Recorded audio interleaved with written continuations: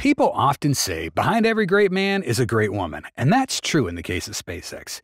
Elon Musk may be the most mentioned face every time SpaceX breaks a new record or takes a leap forward on its journey, but he has a secret weapon to create those miracles. Yes, it's Gwynne Shotwell, the president and chief operating officer of SpaceX. She is exactly the person behind the creation of SpaceX's reputation and has driven the company's remarkable growth with projects like Falcon, Starlink, and most notably Starship. So in today's episode of Alpha Tech, let's explore everything Gwynne Shotwell has been doing with the upcoming launch of Starship. This has even shocked NASA. If you haven't seen Gwynne Shotwell, then you haven't been paying attention. Gwynne Shotwell is the voice of reason at SpaceX. As president and COO, she manages the day-to-day operations of the company. She manages the fulfillment today of the direction the company's going tomorrow. She's in charge of making sure that things like contracts actually get met, and that when a satellite's supposed to launch, there's a functional rocket sitting under it with all the range support, tracking, and support ships standing by. This is the kind of work that takes a firm and practiced hand in any company, and she does a great job at it. Gwynne Shotwell's reputation has spread widely in the commercial space industry. No company or space organization hasn't heard her name when it comes to SpaceX or Elon Musk. She has even gained the trust of almost all of them, most notably NASA Administrator Bill Nelson. In an interview with NPR in May, the NASA director openly expressed his trust in Gwynne Shotwell. Elon Musk, one of the most important decisions he made, as a matter of fact, is he picked a president named Gwynne Shotwell. She runs SpaceX. She's excellent, and so I have no concerns. This also makes us somewhat less anxious about the upcoming fourth launch of Starship. As COO, Shotwell has overseen operations at Starbase and the Starship program to some extent. Her daily responsibilities may primarily focus on SpaceX's Dragon, Falcon, and Starlink programs, but a COO of her caliber cannot ignore a program that potentially represents half or more of SpaceX's R&D spending. Her job always ensures that all projects at Starbase are on track to support the Starship program. This includes repairs, fine-tuning the orbital launch mount, transporting and planning tests for Starship and Super Heavy, or ongoing constructions like Launch Tower 2 and Star Factory. Shotwell holds it all in the palm of her hand. Furthermore, Shotwell is a staunch supporter and executor of Elon's ambitious goals. Not only has the Falcon rocket made history, but she and Musk also aim to make the Starship the most unique asset possible. Starship is designed to be a reusable model, an unprecedented feat in the aerospace industry. This revolutionary rocket embodies cost optimization principles, using inexpensive materials like stainless steel and methane-powered engines. These design choices not only reduce production costs, but also position Starship as a formidable competitor against other aerospace organizations. By pioneering innovative solutions and challenging conventional norms, Shotwell and Elon have propelled SpaceX to the forefront of space exploration. Gwynne Shotwell's exceptional negotiation skills are instrumental in SpaceX's success, particularly in navigating the complexities of legal processes. Her adept diplomacy has facilitated effective collaboration with agencies like NASA, the FAA, the FCC, and others, benefiting Starship's launch operations. Of course, Shotwell plays a crucial role in securing the necessary launch permits from the FAA, a challenging task. Despite skepticism after each test flight loss, the decreasing time to obtain launch permits demonstrates SpaceX's ability to overcome regulatory hurdles and execute ambitious missions. Although Shotwell's contributions do not always capture the public's attention, her behind the scenes impact is undeniable. Currently, I have no doubt that Shotwell is diligently working to expedite approval for Flight 4. With her track record and credibility, it's reasonable to expect FAA approval within the targeted timeframe, potentially by early June. This is something to look forward to, but that's not all this woman's done. During more than 20 years of work, every step of the way, Shotwell's financial strategy for SpaceX has shined brightly.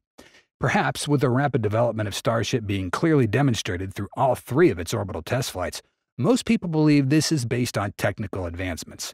But honestly, the development and technical lessons are not enough because SpaceX has not generated any substantial profits.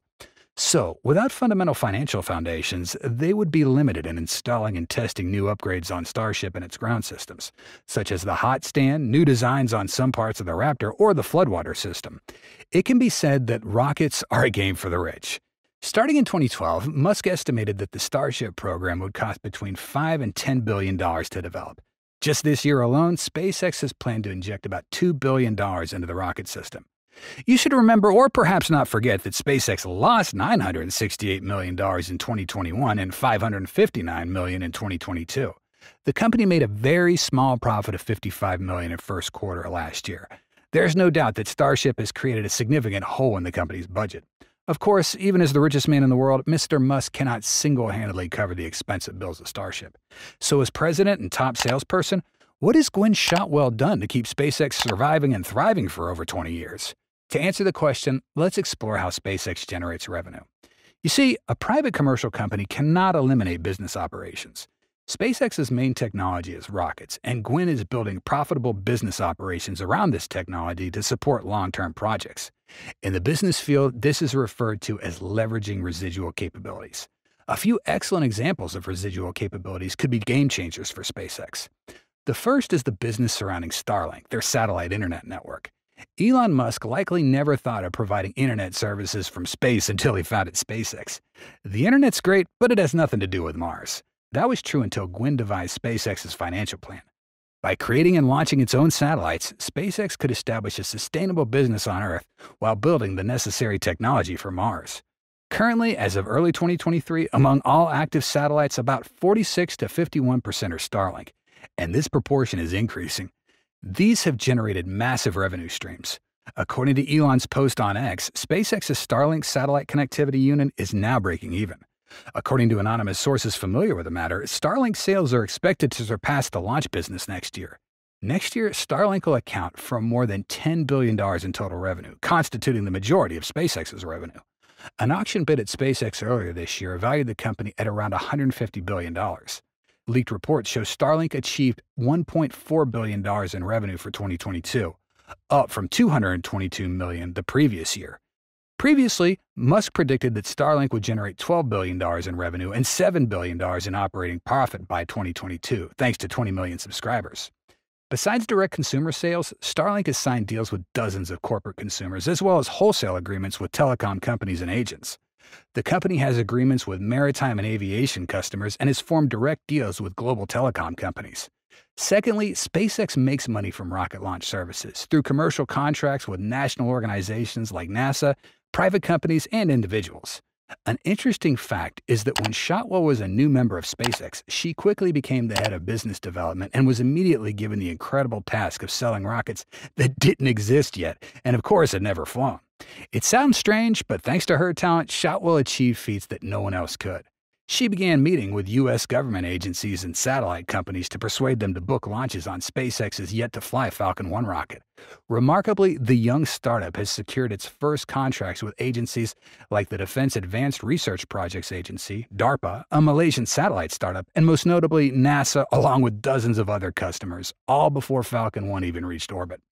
The long term close cooperation between SpaceX and NASA was solidified with a $278 million contract in 2006, which tasked Elon Musk's company with developing the Falcon 9 rocket and the Dragon spacecraft to transport supplies to the ISS. This partnership paved the way for even more lucrative contracts, including a significant $2.89 billion deal in 2021 under the Artemis program. This contract involved developing and producing the Starship HLS for two missions an uncrewed demonstration, and crewed moon landing.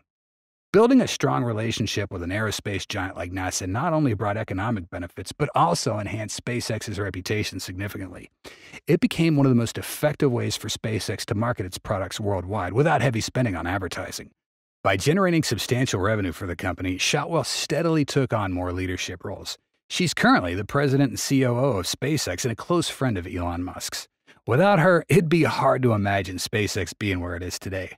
While Musk focuses on various ventures beyond rockets, he needs someone to keep things organized and ensure positive cash flow. Although Musk is a risk taker who often goes all in with little margin for error, much like when he started SpaceX, he also needs someone to maintain a healthy balance. Fortunately, Gwynne Shotwell embodies all those qualities. And that's it for today's episode. Thank you so much for watching and see you next time.